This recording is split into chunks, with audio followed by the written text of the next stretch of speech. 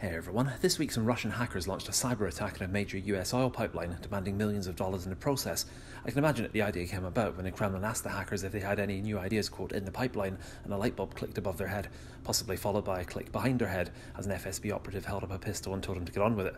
Either way, motorists in the US southeast are now paying the sort of eye watering petrol prices that haven't been seen since, well, Britain 20 years ago. $4 a gallon, is that it?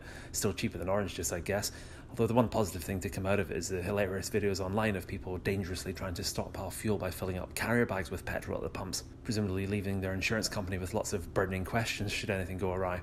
One curious byproduct of the outage is that they finally caught and arrested that man who went crazy with a firebomb in New York a few weeks back after his car ran out of petrol in Florida. Say we will about electric cars, though, if you've been driving a Nissan Leaf, then they'd have probably caught him in New Jersey, less than 100 miles from the scene of the crime. Anyway, now that the pipeline company's paid the ransom in full, it pretty much means open season for this sort of thing, I guess. There's a very good reason you're not supposed to negotiate with terrorists. It did, however, make me think of that old joke about what's the difference between Amy Winehouse and ExxonMobil. One likes pipelines, the other likes pipes and lines. Anyway, the other story this week is about somewhere else in the world with no oil, and that would be Israel, the one country in the Middle East not to have any massive oil or gas reserves, opting instead for being the land of milk and honey. Yeah, that promise didn't age well, did it, Moses? Anyway, attacks by Hamas have kicked off with a major retaliation. So far, I'm reading 110 dead in Gaza, 7 dead in Israel, 100 for 7. You could just say 24 7 because it's round the clock fighting right now anyway.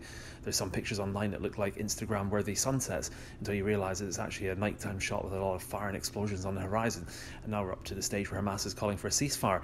But Israel's choosing to go the other route and call up 9,000 reservists and prepare for a possible ground invasion. You know, I'd like to imagine that the recruitment posters for that army are like the old World War One Kitchener ones, but instead Instead, it's Benjamin Netanyahu pointing and saying he needs Jew.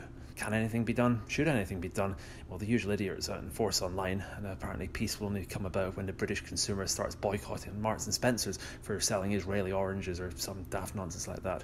I'm personally more along the lines that both sides are as bad as each other, but Israel at least has the right to defend itself, and neither side really wants a two state solution anyway, let's be honest. They're both openly advocating for a one state solution where they are the one state.